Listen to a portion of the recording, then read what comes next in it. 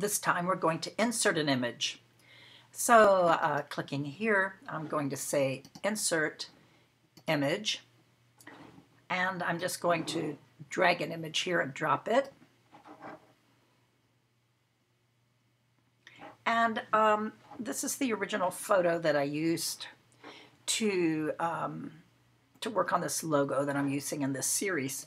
So I'm going to click here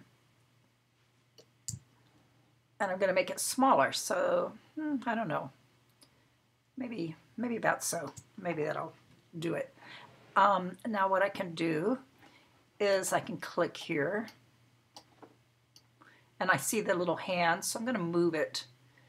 Um, I do like it. Uh, I'm going to keep it in these, or I could, oh, there's a lot of things I could do with this, but perhaps I'll just use these cells right here. And then what I might do is merge those cells. So I'm going to say format, merge the cells, merge all, so that now this is all in one big cell.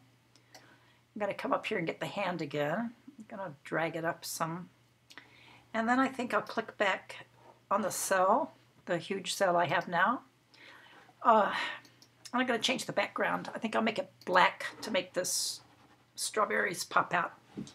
So there you have a um, an image that has been inserted.